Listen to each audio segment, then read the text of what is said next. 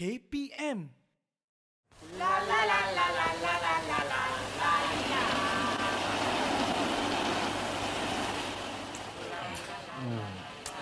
Eh, Sudi. Ya. Mana si Ramli ni? Tak tahulah. Eh, ah, Haji Sudin, kamu dua orang ni cepat sangat. Hai, kamu ni. Kita kan dah lambat nak pergi ke kelas cikgu, bos. Iya dah. Hai, siap, siap, siap. Ramli, Aziz, Sudin, mari masuk kelas. Ah, cikgu sudah panggil. Ah. Kita masuk dah. Mari, Jom, duduk, jom. duduk. Cikgu. Ya, duduk, cikgu. duduk. Saya duduk ya, cikgu. Duduk. Okey, baiklah murid-murid. Hari ini kita akan belajar mengeja dan membaca. Kita mulakan dulu dengan Aziz. Baik, cikgu. Okey. Ni huruf apa Aziz? Oh, itu huruf dal, Dal. alif, sin, ro, cikgu. Betul, bunyinya Uh, dasar, cikgu. pandai Aziz. Sekarang Ramli pula. Okey, Ramli. Ini saya tahu, cikgu. Okey. Ini ejanya pa, nun, dan, ya, dan, ya, kof, nun. Bunyinya Pendidikan. pandai Ramli. Sekarang kita dengar pula daripada Sudin. Ya, Sudin baca. Uh, tak nampak lah, cikgu. Uh, teropong tak nampak. Ramli, kau tepi sikit. Ah, baru nampak. Kap, ba, nge, si, alif hamzah, nun. Okey, sebutannya apa Sudin? Kebangsaan, cikgu. Pandai Sudin. Saya memang pandai, cikgu. Baiklah murid-murid, inilah yang kita akan belajar pada hari ini iaitu dasar pendidikan kebangsaan. Oh, ini saya tahu, cikgu. Kau semua kau tahu.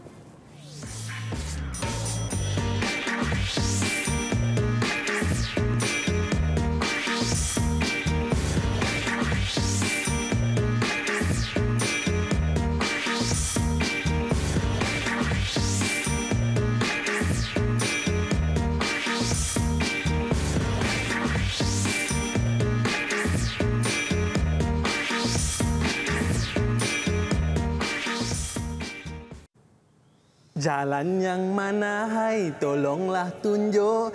Jalan lurus atau belok-belok Hai Assalamualaikum warahmatullahi wabarakatuh Dan salam sejahtera diucapkan kepada seluruh penonton Didik TV KPM Anda bersama saya Ahmad Sufian Azman Pada hari ini dalam slot menengah atas dalam mata pelajaran Sejarah Tingkatan 5 Ha, Kenapa kita pakai macam ni?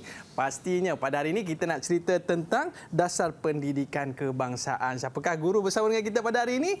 Kita nak perkenalkan kepada anda guru kita iaitu tidak lain tidak bukan Cikgu Murina Mat Mulki. Apa khabar cikgu? Alhamdulillah Aiman. Wow, seronoknya dapat bersama dengan cikgu pada hari ini. Cantik siap ada bunga lagi. Ah itu dia. Baik, cikgu apa khabar? Sehat Alhamdulillah. Terima kasih bersama dengan kita pada hari ini cikgu. Dan kita ada juga juru bahasa isyarat yang bersama dengan kita pada hari ini iaitu Cikgu Duzaimah Kamarudin daripada SMK Tun Mutahir Batu Berendam Melaka. Apa khabar cikgu? Baiklah, terima kasih cikgu kerana bersama dengan kita pada hari ini. Baiklah cikgu, ha, kita pakai dengan pakaian yang menggambarkan tahun uh, 60-an juga eh. 60, Ah, jadi mungkin 70-an. uh, cikgu boleh cerita sikit apa yang kita nak cerita pada hari ini. Okey, hari ini kita akan uh, belajar mengenai pendidikan iaitu pada tahun 1960 hingga 1979 lah. Okey. Okay. Jadi cikgu, sebelum kita nak mulakan kelas kita pada hari ini, Baik. saya nak jemput kawan-kawan kita untuk bersama dengan kita pada hari ini. Dipersilakan. Itu dia, murid-murid kita pun dah siap sedia dengan pakaian mereka yang cantik pada hari ini cikgu. Apa kata cikgu? Kita perkenalkan mereka terlebih dahulu. Dipersilakan Baik. cikgu. Okey, sebelum itu Aiman, okey, mari saya jelaskan. Uh, sebenarnya mereka hari ini memakai uh, pakaian tradisional. Sebenarnya ada ada maksud di sebalik ini iaitu pendidikan itu sendiri adalah untuk perpaduan. Okey, saya perkenalkan uh, yang memakai kacamata di sana. Okey, dia adalah Muhammad Daniel Hakim. Daniel, mari lambai tangan dulu Daniel. Okey, daripada kelas 5 sains. Okey, di uh, di sebelahnya memakai pakaian uh, lengkap orang Ulu Sarawak iaitu Reni Sim. Reni daripada kelas 5 account. Lambai Reni. Okey, dan di bawah Reni adalah Sushmita anak perempuan Devadas. Okey. Uh, Susmita, lambai. Okey dan akhir sekali kita ada uh, Marcus Kong yang memakai baju merah lah, baju merah.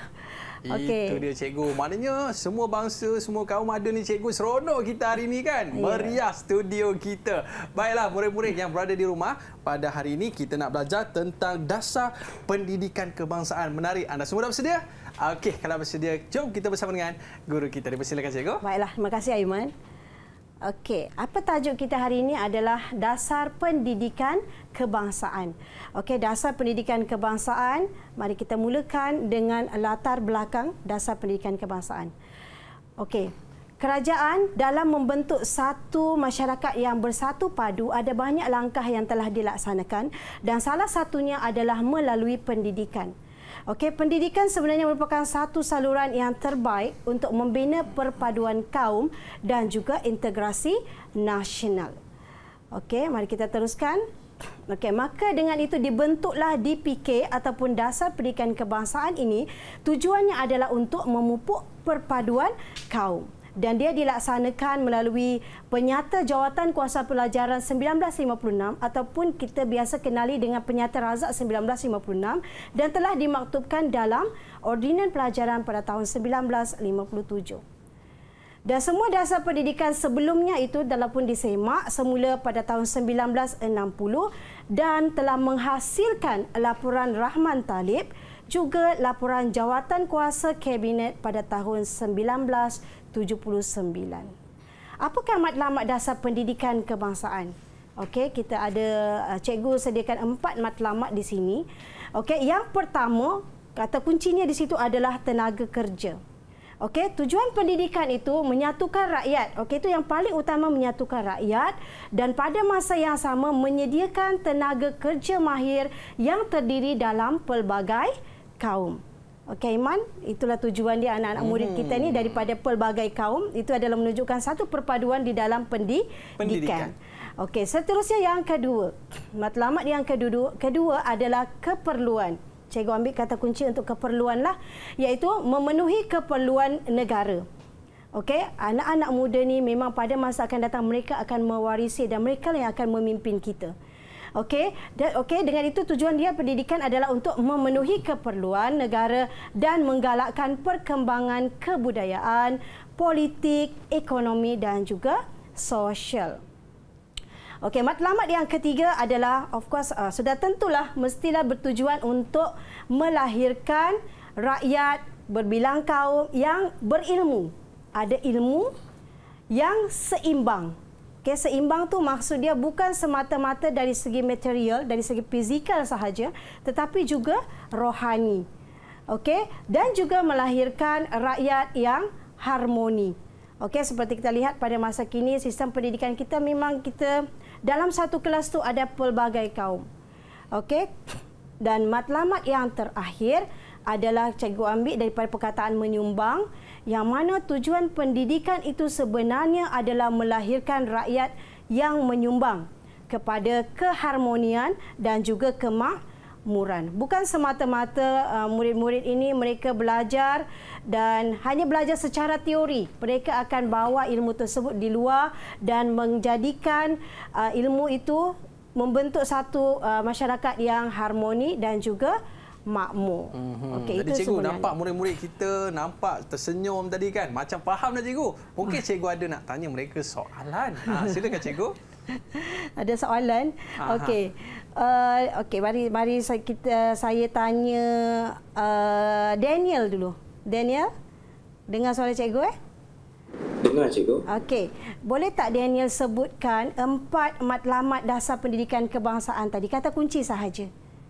Boleh cikgu. Okey, sebutkan. Uh, yang pertama tenaga kerja. Betul. Yang kedua keperluan. Pandai, okey. Yang ketiga berilmu. Alright. Dan yang terakhir menyumbang. Betul.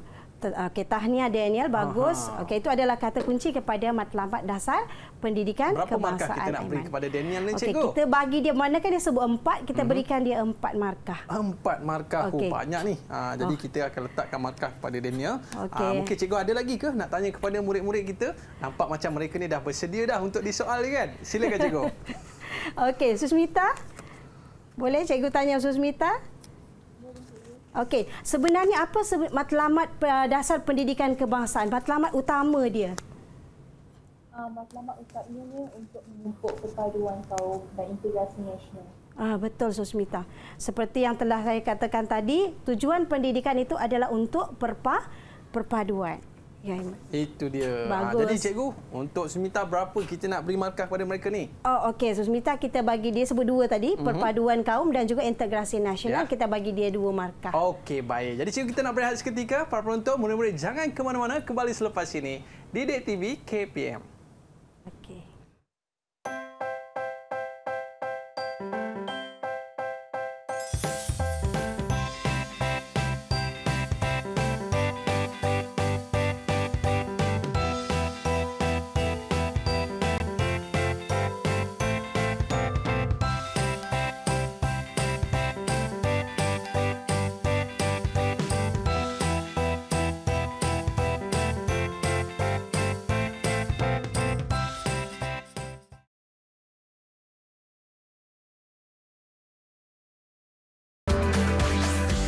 TV KPM.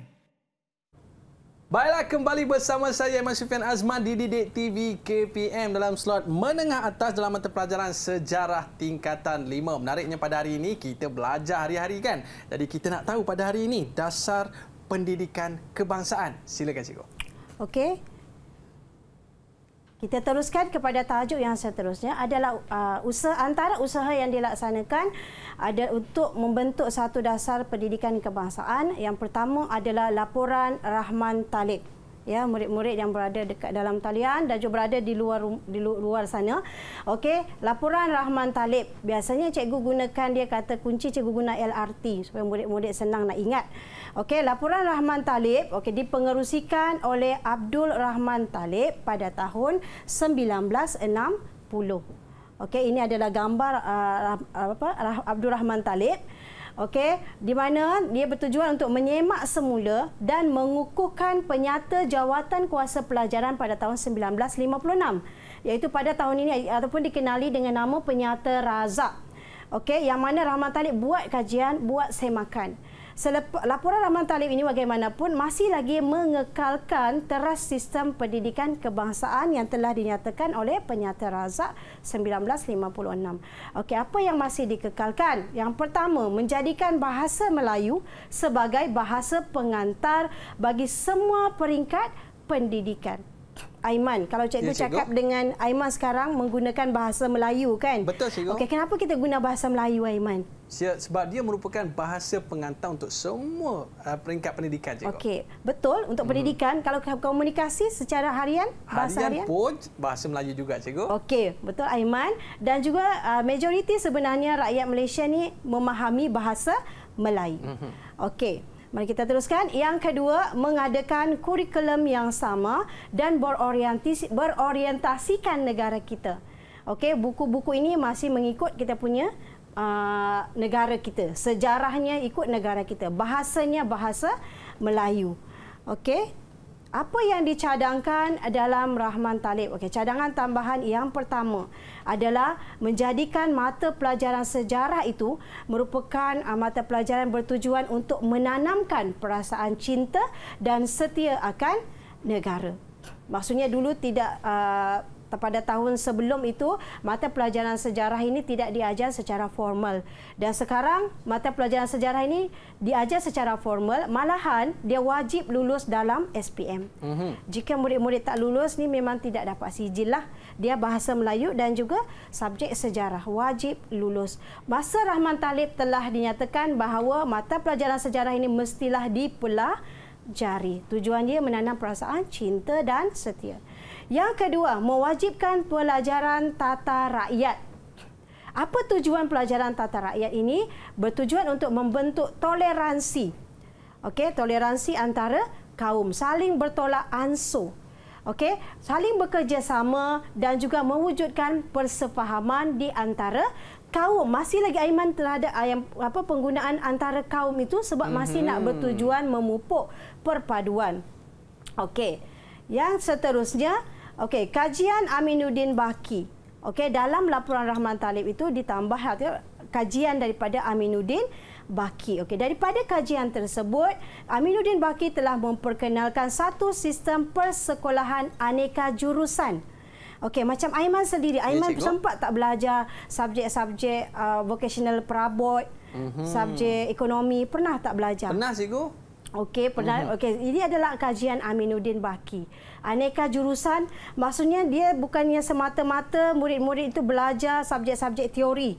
Bukannya belajar bahasa Melayu, sejarah, sains, tapi juga belajar kemahiran. Okey, aneka jurusan. Apa tujuannya? Supaya murid-murid uh, murid-murid yang gagal memasuki sekolah menengah akademik ini akan terus belajar mengikut jurusan masing-masing. Okey, kemahiran masing-masing. Seterusnya, mengadakan kursus kemahiran untuk melahirkan tenaga kerja. Sekarang pun zaman yang memerlukan kemahiran sebenarnya Aiman. Kita bukannya semata-mata uh, ilmu-ilmu teori sahaja. Juga kemahiran sangat penting. Okey, untuk melahirkan tenaga kerja mahir dan memenuhi permintaan pasaran kerja. Okey, dan akhir sekali mewujudkan sekolah kebangsaan yang menggabungkan semua kaum. Okey, macam di sekolah, kebanyakan sekolah memang seperti inilah. Okey, terdiri daripada pelbagai kaum. Macam sekolah saya sendiri adalah SMK Wangsa Melawati. Okey, mereka juga terdiri daripada pelbagai kaum. Alright. Okey, kita teruskan bagi menguji, kita nak lihat sejauh mana murid-murid ni mendengar sebenarnya apa yang telah uh, cikgu jelaskan sebentar tadi. Kita akan melakukan latihan iaitu latihan berbentuk teka silang kata. Murid-murid sebenarnya saya saya dah edarkan uh, layan tersebutlah. Boleh tunjuk tak? Daniel, Susmita, Marcus, Reni boleh tunjuk tak laporan teka, uh, latihan tersebut? Okey, saya dah berikan. Okey, sekarang mari kita buat latihan ini bersama-sama. Okey, kita nak mulakan. Yang Ya. pertama cikgu. Okey, yang pertama KAB. KAB tu memang sebenarnya adalah ringkasan bagi kajian Aminuddin Baki. Mhm. Okey, dengar ya murid-murid. Okey, kajian Aminuddin Baki juga memperkenalkan kursus tempat kosong untuk semua kaum bagi persediaan permintaan pasaran kerja. Okey, mari kita tengok. Ada siapa nak jawab soalan ini? Kita nak tengok siapa paling cepat, Aiman. Okey, silakan. Siapa nak cuba boleh angkat tangan. Alright. Okey. Silakan. Susmita. KAB juga memperkenalkan kursus kemahiran untuk semua kaum bagi persediaan permintaan pasaran kerja. Okey, kemahiran. Mari kita tengok jawapan uh, jawapan Susmita. Okey, K E M A H I R A N. Okey, betul Susmita. Mm-hmm. Okey, kita berikan Nak dia dua markah. Okey, kita kita beri berikan dua dia dua markah. Bagi satu soalan Susmita. kita berikan dua markah. Okey, Bagus. baik. Seterusnya, cikgu. Okey, kursus kemahiran. Okey, soalan yang kedua. Okey, LRT mengadakan tempat kosong yang sama bagi semua jenis sekolah. Okey, siapa nak jawab? Kat tangan? Okey, silakan. Ah, okey nampak. Ah, Susmita, Susmita, lagi. lagi, cikgu. Oh, laju. Okey, apa jawapan dia Susmita? Uh, mengadakan kurikulum yang sama bagi semua jenis sekolah. Okey, mari kita tengok jawapan dia. Aiman betul tak? Huruf K tu dah betul dah? Mhm, betul. Okey. K U R I K U Betul dia Susmita? L U M. Ya, yeah, betul. Ya, betul. So, jawapannya adalah mengadakan kurikulum, Kurikulum. yang sama bagi semua Mhm. sekolah. Kita Okey, nak dua bagi berapa markah lagi. tengok? Satu Dua soalan, dua markah. Okey. Okey. Murid-murid yang lain pun angkat tangan cepat-cepat. Mhm. Okey, Reni dengan Marcus masih kosong lagi. Okey, terusnya cikgu. Okey, soalan yang ketiga. KAB Kajian Aminuddin Baki memperkenalkan sistem persekolahan tempat kosong. Siapa nak jawab? Kat tangan? Daniel. Okey, Daniel dulu.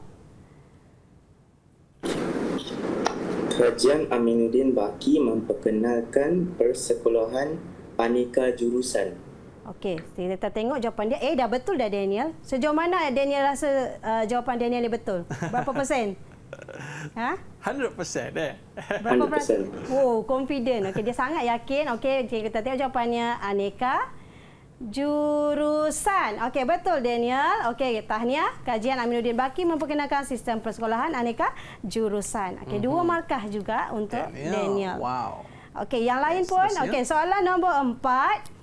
Laporan Rahman Talib mewajibkan mata pelajaran tempat kosong untuk membentuk persefahaman antara kaum. Mata pelajaran apa? Angkat tangan. Mm-hmm. Silakan. Siapa dulu? Nampak Daniel dulu. Aha. Okey, Daniel. Okey, jawapan dia apa Daniel? Kata kunci T. Um, jawapan dia tata rakyat. Laporan Rahman Talib mewajibkan mata pelajaran tata rakyat untuk membentuk persefahaman antara kaum. Betul Daniel. Tahniah. Okey, mewajibkan mata pelajaran tata rakyat untuk persefahaman antara kaum. Okey, dua markah lagi okay. untuk Daniel. Seterusnya cikgu. Okey, soalan yang kelima.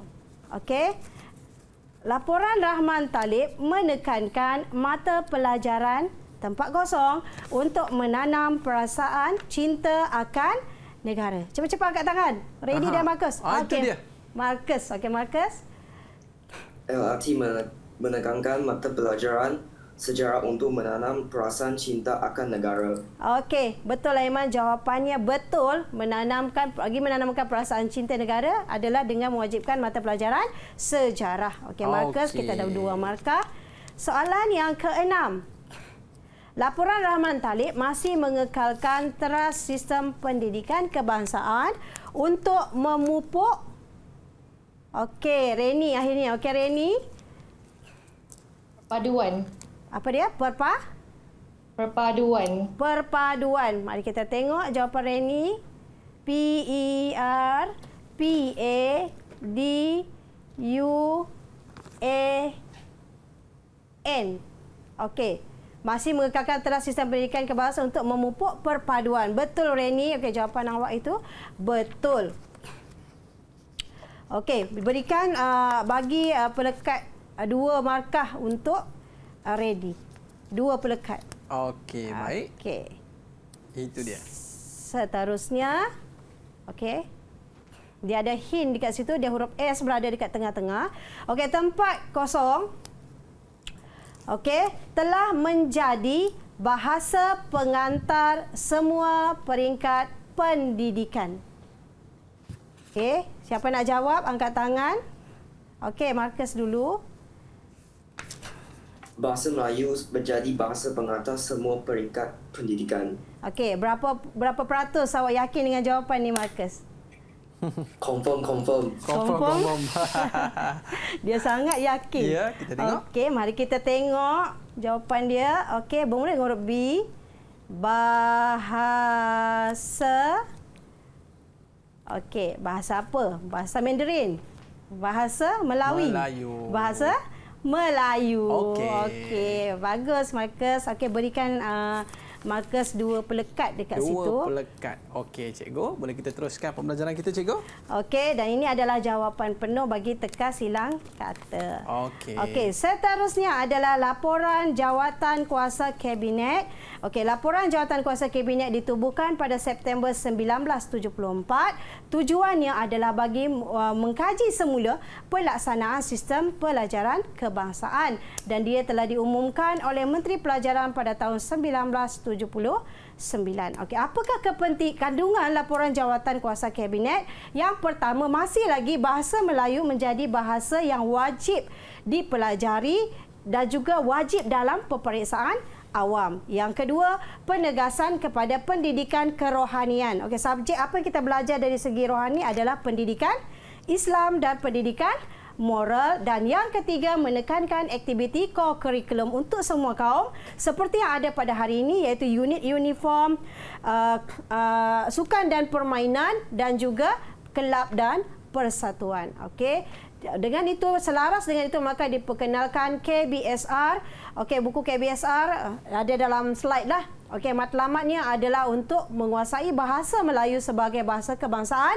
dan mengakui bahawa bahasa Melayu itu adalah bahasa untuk alat perpa Duan. Yang kedua, menguasai tiga bidang asas iaitu bidang komunikasi, kemanusiaan dan juga alam sekitar serta perkembangan diri individu. Yang kedua adalah KBSM. Okey, KBSM matlamat dia selaras dengan falsafah pendidikan kebangsaan iaitu melahirkan generasi berilmu, berkemahiran dan bersatu padu.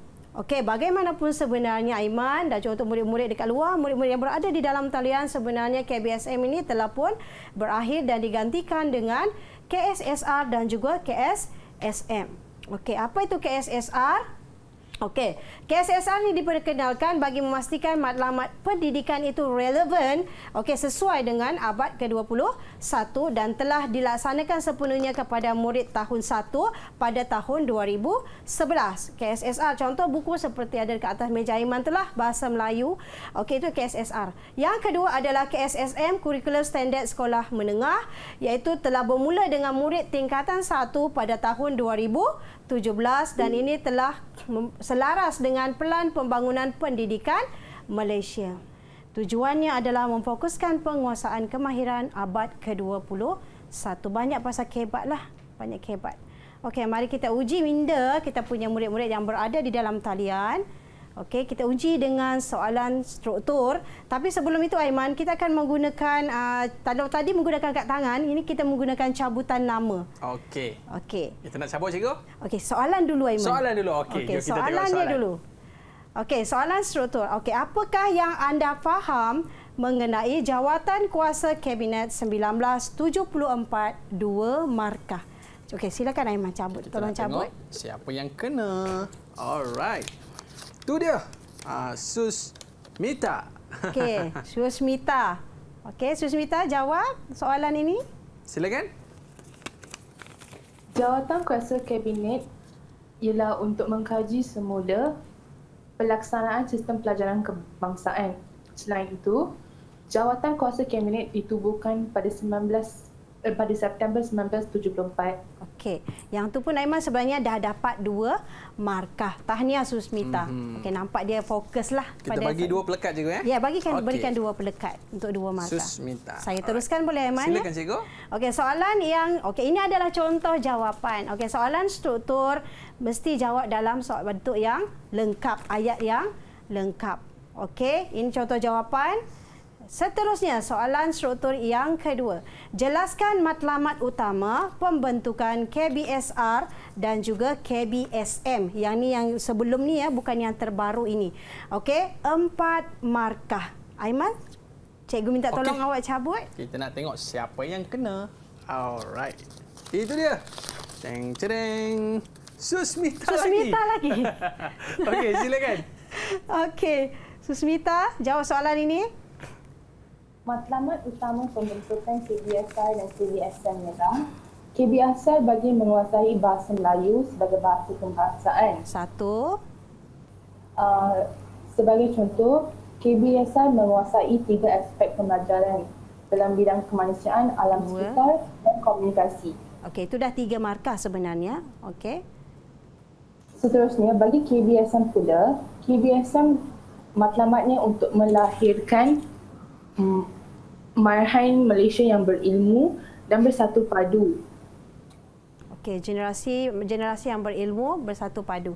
Okey, betul jawapan Susmita. Okey, Okey. tahniah Susmita. So ada ada empat markah, kita berikan empat pelekat untuk dia Iman. Okey, empat pelekat untuk Susmita. Macam Okey, nampak dah banyak pelekat dia kat situ. Okey, kita nak pergi lagi satu soalan cikgu.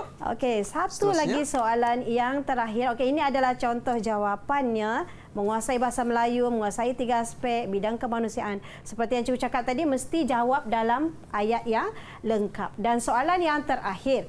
Pendidikan adalah asas perpaduan negara. Buktikan. Okey, empat markah. Okey, Okey. Aiman. Kita nak tengok siapa yang kena. Okey. Okey. Tataras. Ah bukan Susmita. ah, Susmita. Ah, ready. Okey. Reni. So, jawapan ini jawab Reni empat markah. Bukti pendidikan merupakan asas perpaduan negara ialah sistem persekolahan yang sama untuk semua pelajar dan penggunaan bahasa bah- uh, kebangsaan sebagai bahasa pengantar, uh, pengantar terutamanya di sekolah. Um, penyeragaman kurikulum dan sukatan pelajaran yang sama juga membuktikan bahawa pendidikan merupakan asas kepada perpaduan negara. Okey betul semua yang uh, contoh-contoh jawapan memang uh, ada dekat dalam skrin iaitu yang mana yang dihitamkan itu adalah faktanya. Okey so kita uh, Tok Reni dapat empat markah. Tahniah Itu Reni. dia. Baju Bagus. sementara sebab banyak sangat markah tu. Jadi Okey. kita dah Oh. berehat seketika. Para penonton jangan ke mana-mana. Kembali selepas ini di Dek TV KPM. Okey.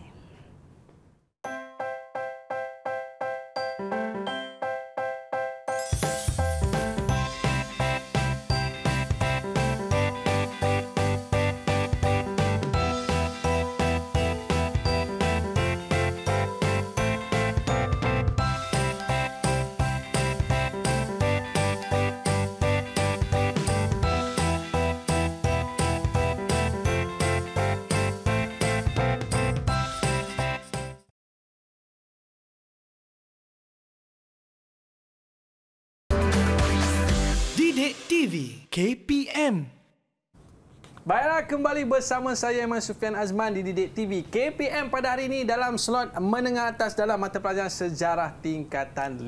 Menariknya hari ini, cikgu kongsikan kepada kita uh, topik berkaitan dengan dasar pendidikan kebangsaan. Untuk segmen kali ini, cikgu, apakah yang akan cikgu kongsikan? Okey. Cikgu teruskan Aiman. Okey, seterusnya kita sambung lagi pembelajaran kita dengan tajuk yang ketiga iaitu falsafah pendidikan kebangsaan. Okey, falsafah pendidikan kebangsaan ni asalnya sebenarnya namanya adalah falsafah pendidikan negara ataupun FPN di mana dia telah digubal pada tahun 1988 tujuannya adalah untuk memperteguh hala tuju dan matlamat pendidikan negara ke arah masih lagi perpaduan masih lagi perpaduan itu Okey, dan FPN ini kemudiannya ditukar kepada falsafah pendidikan kebangsaan ataupun FPK pada tahun 1996. Apa tujuan FPK sebenarnya? Okey, FPK ini adalah menekankan pendidikan yang menyeluruh. Okey, menyeluruh dan bersepadu bagi membentuk murid yang seimbang. Okey, seimbang dari segi apa? Biasa kita guna perkataan uh, kita akronim kita ringkaskan dia jadi JERI Aiman. Okey, J itu adalah Aiman rasa J itu apa? Jasmani. Betul. E Emosi, betul. R rohani, dan I intelek. intelek pandai Aiman. Ni mesti sejarah SBMA kan? Masih, Betul cikgu. tak? Okey. Seterusnya yang keempat Akta Pendidikan 1996. Okey, akta kita pun tahu apa itu akta, undang-undang, okey. Melalui akta ini, kedudukan bahasa kebangsaan itu dikukuhkan lagi. Okey, macam mana dia dikukuhkan? Dikukuhkan dengan cara menjadikan bahasa kebangsaan itu bahasa pengantar utama dalam sistem pendidikan kebangsaan. Cikgu mengajar dalam bahasa kebangsaan. Okey, ada juga yang menggunakan uh, dalam ada kalau kita melihat sekarang dia ada satu sistem dipanggil dual language program iaitu sains matematik menggunakan bahasa Inggeris. Tetapi subjek bagi subjek yang lain masih lagi menggunakan bahasa kebangsaan. Okey, seterusnya. Kedudukan bahasa kebangsaan itu diperkuatkan lagi dengan menjadikan bahasa kebangsaan sebagai mata pelajaran yang wajib diajar di semua sekolah dan institusi institusi pendidikan. Wajib. Okey, wajib diajar walaupun di sekolah swasta. Okey, institusi pendidikan swasta juga dikehendaki untuk mengadakan pengajaran bahasa kebangsaan. Okey, pengajar di Malaysia Pengajian Malaysia dan juga pendidikan Islam ataupun pendidikan moral telah diadakan untuk memupuk semangat cinta akan negara serta membentuk nilai-nilai murni. Selalunya nilai-nilai murni ini dipelajari di rumah. Biasa ibu bapa akan ajar anak-anak mengenai nilai murni. Tetapi di sekolah juga turut dipelajari nilai-nilai murni. Okey, kita pergi kepada aktiviti kita yang seterusnya iaitu aktiviti pop quiz. Okey Aiman, ada anak murid yang dalam talian, cikgu dah sediakan, cikgu dah berikan mereka satu peralatan. Okey, Mhm. boleh tunjuk tak peralatan masing-masing? Itu dia. Okey, mereka ada peralatan masing-masing. Sebenarnya dia mengeluarkan suara tapi memandangkan mereka ni uh, mute, okey. Mm-hmm. Tapi kita akan uh, lihat siapa yang paling pantas uh, tekan dan dia akan mengeluarkan cahaya sebenarnya. Aha. Dan mereka akan jawab eh. Ya. Okey, sila cikgu. Okey, Aiman tolong, tolong cikgu tengok ya. Kita tengok, kita tengok siapa kita yang tengok bersama ya siapa. Okey. Okey, mari kita tengok soalannya. Alright, masing-masing tunjuk ya. Tunjuk Susmita. Okey, soalannya. Okey, apakah tujuan penggubalan falsafah pendidikan negara? FPN. Okey, itu soalan dia. Jangan dulu, belum lagi, Belum lagi. Marcus. Sabar, Marcus. Dia, dia teruja nak jawab soalan ni. Okey, A. Mengukuhkan matlamat pendidikan. Okey. B. Membentuk persefahaman kaum. C. Meningkatkan ekonomi negara. D. Melahirkan individu berwawasan. Okey, kejap, kejap, sekejap. Belum lagi, sebentar, kejap. Okey, siapa yang nak jawab soalan ini? Ha. Siapa dulu? Alamak. Alamak, semua serentaklah cikgu. Sekali lagi cikgu, sekali Okey. lagi. Okey, sabar dulu. Okey, ready? Okey, bersedia? Okey, satu, kita tengok. dua, mula. Itu dia. Ha, nampak macam Siapa Danny dulu? lah cikgu. Siapa dulu? Reni Ha, dulu. Danny Okey. ke Daniel? Reni. Okey, kita bagi pada Danny dulu cikgu eh. Pada Reni ke Daniel? Danny. Reni. Ha. Okey, Reni. Reni, Reni. Ah, Reni. Danny. R, R. Reni. Okey, Reni silakan Reni. Okey, Reni. Apa jawapan? Jawapan dia A, mengukuhkan matlamat pendidikan. Okey, muka matlamat pendidikan. Reni, sebelum cikgu bagi tahu jawapan sebenar, uh, kenapa tak jawab C, Reni? Nampak tak C? Meningkatkan ekonomi negara.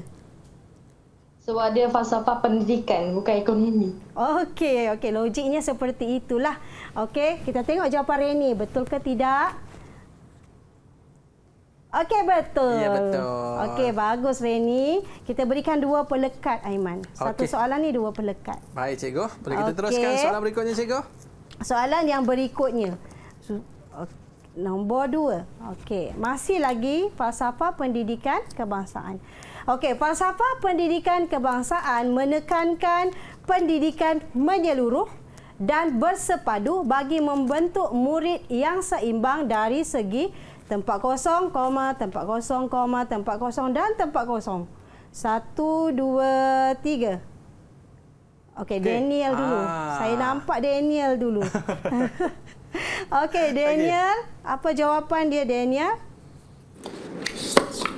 Jasmani, Okey. emosi, rohani dan intelek. Okey, apa kata apa dia punya akronim tadi? Uh, Jerry. Jerry. Okey, kita tengok jawapan dia. Aiman rasa betul tak jawapan Saya Daniel? rasa tepat sekali cikgu. Tepat ya, betul ya, Aiman, eh? Saya ingat Jerry je. Okey, mari kita Okey. tengok jawapan dia. Okey, J jasmani betul. Satu kat situ, satu pelekat dah tu. Mm-hmm. Yang kedua, E emosi. Yang ketiga, R rohani dan I intelek. Okey, bagus Daniel. Ah. Okey, Daniel dapat empat pelekat di situ. Empat pelekat. Okey. Marcus cepat sikit Marcus. Okey. Tekan cepat sikit. Okey, soalan yang ketiga. Bagaimanakah kedudukan bahasa kebangsaan diperkukuh dalam Akta Pendidikan 1996? Okey, belum lagi ya. Angkat dulu, angkat dulu buzzer tu. Okey. A diperlukan dalam bahasa pertuturan. Macam betul. B diwajibkan dalam komunikasi harian. Wajib ke? C digunakan dalam mahkamah negeri. Dan D dijadikan bahasa pengantar utama. Okey. Hmm. Satu, dua, tiga. Okey. Lambat Marcus. Okey, sikit, sikit lagi cikgu. Sikit lagi. Eh, tak tak nampak, cili. eh? Okey. Okey, sekali Okey. lagi. Satu, dua, tiga. Ah, okey, okey. Kita bagi Markus cikgu. Ah, Markus, nampak? eh? Dia sampai macam tu dia tekan. Oh, bersungguh dia nak tekan, Ah, ya? Bersungguh dia tekan. Okey, apa jawapan Marcus? Jawapannya D. Bacakan jawapan tu apa? Dijadikan bahasa pengantar utama. Okey, betul tak jawapan ni? Mari kita tengok jawapannya. Yeay. Betul. Dijadikan bahasa pengantar utama. Bagus Marcus, bertambahlah pelekatnya di situ ya. Okey. Alright, dan soalan yang terakhir. Okey. Manakah antara berikut merupakan langkah memperkukuh bahasa kebangsaan? Okey dalam Akta Pendidikan 1996. Okey, satu Roman menjadi mata pelajaran wajib, dua diajar di universiti luar negara, tiga memupuk semangat cinta negara dan empat diajar dalam pendidikan swasta. A 1 dan 2, B 1 dan 4, C 2 dan 3, D 3 dan 4. Okey, mari kita tengok siapa paling pantas. 1 2 3. Daniel dulu saya nampak. Okey. Okey, silakan. Okey Daniel, cikgu nak awak awak uh, untuk jawab soalan ini boleh tak Daniel singkirkan dulu jawapan yang confirm tak betul? Boleh cikgu. Okey. Yang salah ia yang memupuk semangat cinta akan negara Okey. dengan diajar di universiti luar negara. Okey. So jawapan awak apa Daniel? Satu dan empat Okey, menjadi mata pelajaran wajib Betul. dan diajar dalam pendidikan swasta. B. Okey. Sejauh mana berapa peratus awak yakin dengan jawapan ni? 100%. 100% dia sangat yakin. Okey, mari kita tengok jawapannya. Betul. Satu dan empat. Okey. Dah berikan pelekat ke Iman? Kita bagi pelekat kepada uh, Daniel cikgu. Dua. Tapi uh, mungkin cikgu boleh bagi sikitlah rumusan tentang pentingnya topik ini kepada murid-murid kita di studio dan juga di rumah. Ada sedikit rumusan tak pada cikgu? Rumusan uh, Uh, tentang topik uh, segmen kita pada kali Oh, ini. segmen kita. Ya, silakan, Okey, cikgu. sebenarnya pendidikan itu seperti pada peringkat awal tadi telah disebut tujuannya adalah untuk perpaduan dan dalam membentuk uh, pendidikan ber, ber uh, matlamatkan perpaduan itu haruslah menggunakan satu bahasa. Bahasa yang difahami oleh semua orang bahasa yang mudah untuk digunakan dalam komunikasi harian iaitu bahasa kebang kebangsaan. Mm-hmm. Okey, itulah tujuannya kenapa ada FPK tadi falsafah pendidikan kebangsaan. Matlamat dia masih lagi sama, tapi murid-murid itu dia murid yang bakal di, dihasilkan itu bukannya semata-mata dia pandai dari segi intelek tetapi mestilah seimbang dari segi jasmaninya, dari segi fizikalnya dia sehat. Mm. Okey, daripada emosinya pun sehat. Okey, daripada rohani dia dan juga intelek daripada Okey. pemikiran dia. Jadi Aiman. saya, saya pun dah dah boleh ingat dah cikgu ajar saya Jerry hari ni. Okey. Ah, tentang Jerry, eh, jasmani, Jerry. ah, tentang emosi, tentang rohani dan juga tentang intelek. Okey. Ah itu yang kita kena ingat. Baik murid-murid sekalian, kita nak berehat seketika. Jangan ke mana-mana. Kembali selepas ini di Dek TV KPM.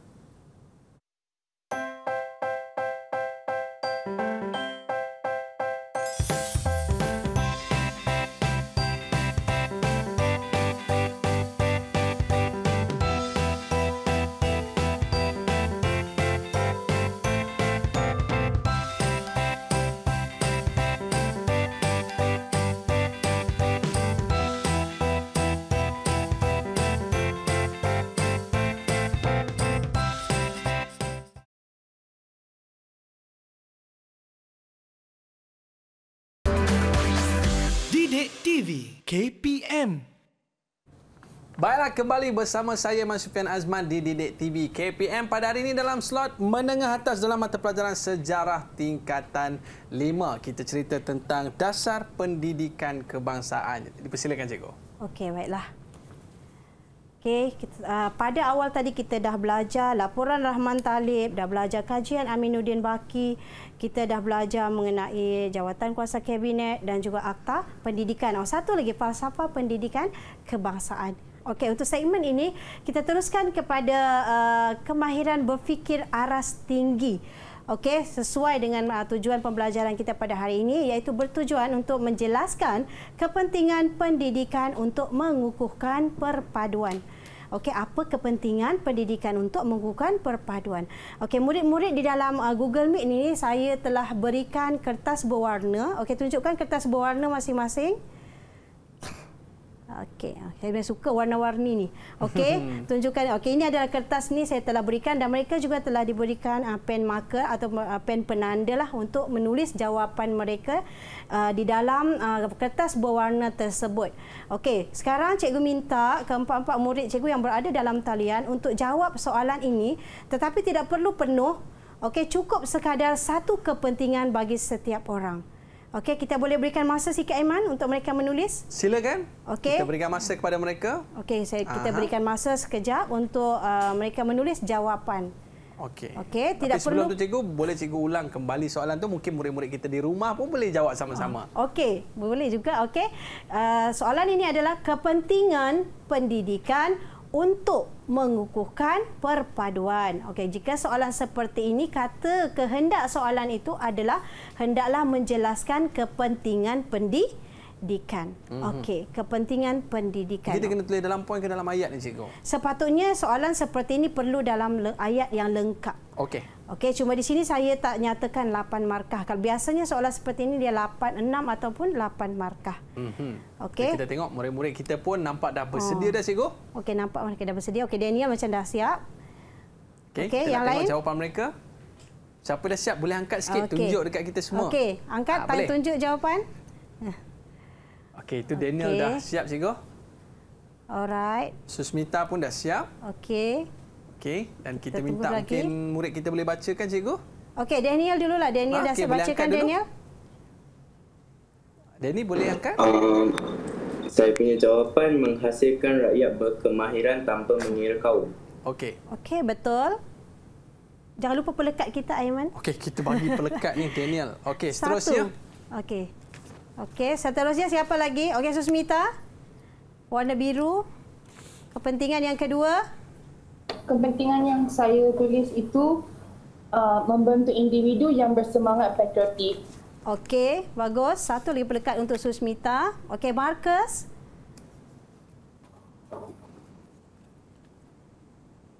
Okey, Marcus. Marcus? Aha. Ah, boleh onkan mikrofon awak.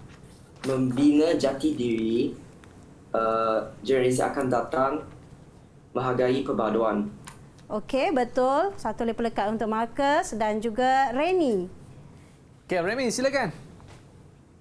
Melahirkan individu yang memahami individu lain yang berlainan kaum, agama dan budaya. Okey, jawapan itu, Itu pun kita terima sebenarnya.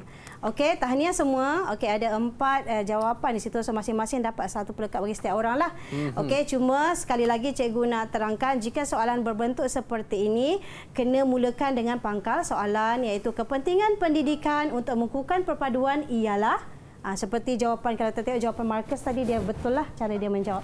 Okey, apa lagi jawapan yang ada adalah seperti yang terletak di dalam terdapat di dalam slide inilah. Masyarakat bertoleransi, mewujudkan masyarakat yang bekerjasama, mewujudkan rakyat berkemahiran tanpa mengira kaum. Okey cikgu. Okay. Mungkin kita nak dengar juga apa rumusan daripada murid-murid kita ni sebab mereka ni nampak macam betul-betul menguasai topik kita pada hari ini cikgu. Boleh kita minta murid-murid kita buat rumusan silakan cikgu. Okey, sekarang kita dah sampai ke rumusan uh, topik pembelajaran kita pada hari ini. Okey, boleh cikgu minta uh, Susmita untuk merumuskan? Boleh cikgu. Secara keseluruhannya, apa yang kita belajar pada hari ini yang, yang ini ialah tentang latar belakang dasar pendidikan kebangsaan. Okey. Selain itu, diikuti dengan laporan Rahman Talib. Seterusnya, kita juga telah mempelajari mengenai laporan jawatan kuasa kabinet serta falsafah pendidikan kebangsaan. Akhir sekali, kita belajar tentang Akta Pendidikan 1996. Kesimpulannya, pelaksanaan sistem pendidikan di negara kita telah mengukuhkan perpaduan kaum dan integrasi nasional. Okey, dan kita nak minta seorang lagi boleh cikgu? Okey, boleh Aiman. Okey, siapa nak jawab lagi seorang? Daniel eh? Nampak Okey, dia Daniel. senyum. Okey. Silakan. Uh, rumusan saya pula adalah rakyat Malaysia perlu menghargai, menyokong dan memberikan komitmen terhadap kepentingan pendidikan bagi perpaduan kaum dan integrasi nasional. Okey, itu dia cikgu. Bagaimana dengan prestasi pembelajaran mereka pada hari ini cikgu? Tengok pelekat banyak dah Tengok kita nampak lekat ni pelekat cikgu. banyak kan. Sebenarnya prestasi mereka sangat bagus dan sangat cemerlang. Cikgu banggalah dengan okay. hasil pembelajaran yang mereka dapat pada Baik, hari cikgu. ini. Baik cikgu, di manakah kita nak dapat ni bahan-bahan rujukan pembelajaran kita pada hari ini cikgu? Okey, segala uh, mengenai uh, latihan, maklumat ataupun bahan-bahan berkaitan dasar pendidikan kebangsaan boleh didapati dalam Pelanta Delima KPM. Okey, terima kasih cikgu atas penjelasan tentang topik kita pada ini berkaitan dengan dasar pendidikan uh, kebangsaan. Dan terima kasih juga murid-murid yang bersama dengan kita pada hari ini. Sporting je kan? Uh, boleh jawab semua soalan dan terima kasih kepada kepada semua yang bersama dengan kita pada hari ini. Ada rezeki kita jumpa lagi. Bye-bye. Assalamualaikum warahmatullahi wabarakatuh. Jumpa lagi.